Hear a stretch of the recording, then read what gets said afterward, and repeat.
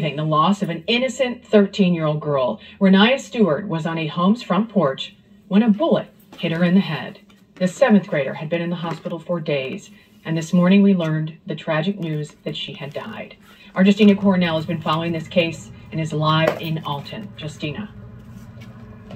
I spoke to two people who knew Renaya well, and they said they'll always remember her for her big personality and her bigger smile. She's only 13. She still had years to find out what she wanted to be in life. She still she had so many things to learn. Peaceful Miller is just two years older than her 13 year old cousin, Renaya Stewart. The two were close, constantly dancing and taking pictures. She's very fun to talk to. She's very goofy. She can't believe her cousin, so full of life, is now gone. Y'all literally murdered a 13 year old. Somebody who ain't do nothing to y'all.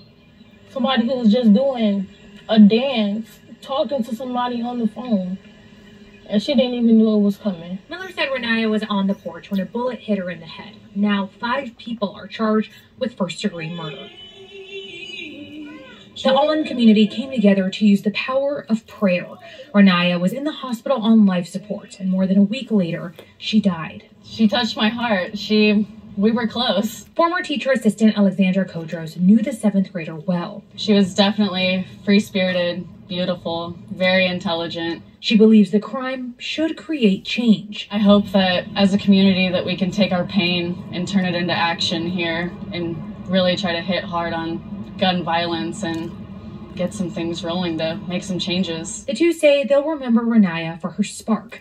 That's something that can never be dimmed. Her smile. Even though she might be mad sometimes, she still finds a way to smile. Renaya was a girl who spoke with so much excitement in her eyes, and I just hope that where she's at now is everything and more than here. There is a GoFundMe set up for her family. If you're wanting to help out, you can head to our website, ksdk.com, and go to the section as seen on.